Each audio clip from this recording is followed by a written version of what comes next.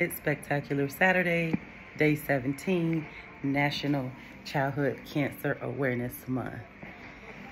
Ah, I just wanted to come to you guys.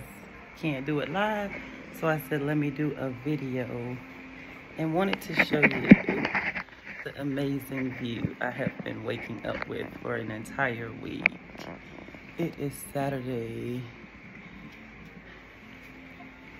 I'm in the beautiful country of Montego Bay, Jamaica. And I have been raising awareness like crazy here. I have been giving out business cards because you know this green hair dares to care. And so we've been sharing childhood cancer awareness. So when people say, oh, you got Jamaica in your hair, I'm like, no, I represent childhood cancer awareness. And so then I give them our spill. Our colors gold is for September, which is National Childhood Cancer Awareness Month. And the beautiful green that you see me with is in honor of my son. Um, he was diagnosed with T-cell lymphoblastic lymphoma and the color is green.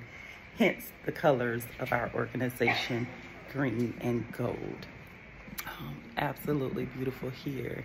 I pray that you all are gearing up to head to Lake Nona, the Beacon at Lake Nona. It's an annual event hosted by Talia's Legacy. We partner with them each and every year for this event.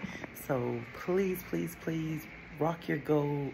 Go out and show your support, dare to care, and share, share, share. Um, Lake Nona, I don't have the um, I do not have the address, but I will repost the flyer once I post this.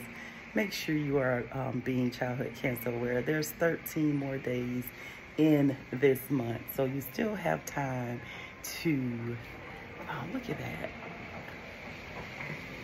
Miles of beaches and pools and all kinds of amazing things. So make sure you dare to care and then are sharing and helping others to be aware of childhood cancer 365. If you don't have any ribbons, we still have them. We have ribbons all year long. So don't you don't have to wait until September comes. You can get a ribbon today, tomorrow, next week, next month. Um, but thank you all for all you do for the BELAC Childhood Cancer Foundation. Thank you for just being an amazing blessing to us um, where we live, where we work, and where we play. So just wanted to give y'all a nice view of my morning. I think it's absolutely beautiful to wake up. To all this water. It's Sharing Saturday.